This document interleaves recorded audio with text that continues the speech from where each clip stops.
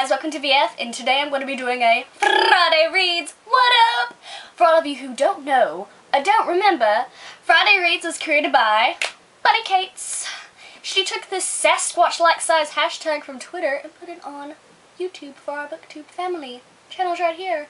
I've been pointing at it for a few seconds. Usually signifies you should probably click it after the video. I'll also put it down in the down bar, just for all of you.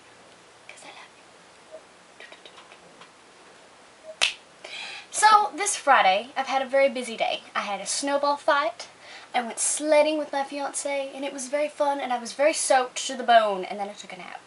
So now that I'm well rested, I'm ready to go. So this Friday, I'm still reading City of Glass. Why, you ask? Why, why? Well, after I finish City of Glass, I'm going to take a break from the Mortal Instruments series for a while and start reading other books. So way you guys won't be like, oh my god, all she reads is Cassandra Clare. Ah, no. I read many other things, but it seems like once I start a series, I can't stop. But I figure that this will be a good ending point for me, and I'm going to go on to another book that I've had for a while, which is The Diviners by Libba Bray, like I said in my previous library book haul from forever ago.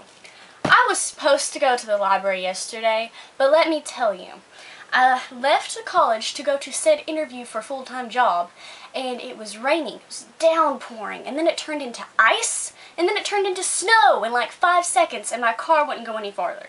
I had to park it on the side of the road, and then eventually this really nice cop came along and helped me get it to McDonald's. It was god awful. So I didn't get to go to the library.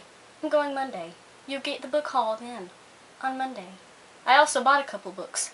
That'll be a part of it too. Whoa, I know, I bought books. Like $5 for one, 7 for the other one. Woo! $12 book haul. What, what? Okay, so I also have to start reading this weekend The Prince by Niccolo Machiavelli. Yes, yes, yes. It's for my Western Civ 1020 class. Have to write a paper on it. I'm not looking forward to it. We'll see. I'll tell you what I think. But anyway, guys, thank you for watching, and have a good weekend. BB Bilbo says bye, guys. Bye. Bye, guys. Bye.